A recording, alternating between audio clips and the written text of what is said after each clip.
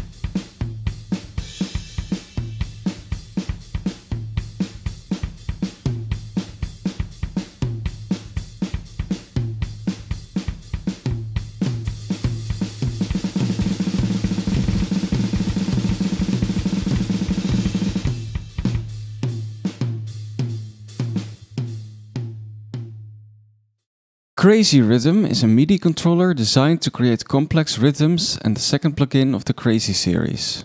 It allows you to create custom rhythms using note lengths, ratios, time signatures, and a programmable rhythm section. It also has MIDI output for all 5 channels, so another VST plugin, such as a drum synth, can be controlled with it. The programmable section allows the velocity to be set for each individual note for more dynamics in your rhythms.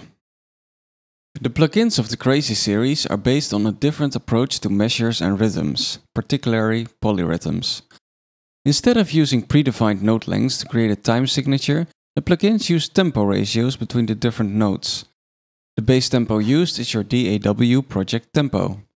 So, as an example, a ratio of 1 against 2 at 120 BPM would make a time signature of 120 BPM against 240 BPM. In other words, the notes that have a ratio of 2 are being played twice as fast as the notes that have a ratio of 1. In the old way of time signatures, this would be a time signature of 2 forward, 4 eighth, etc. By using tempo ratios instead of note lengths, you can essentially set the note lengths to anything. What about a ratio of pi against the square root of 2? Or any other decimal number? By using ratios, we can create time signatures and polyrhythms that would otherwise be very hard to create through conventional means. Crazy Rhythm is available for 32-bit and 64-bit Windows as VST2, VST3 and application formats. So head over to our web store using the link in the description below and fill in your own prize.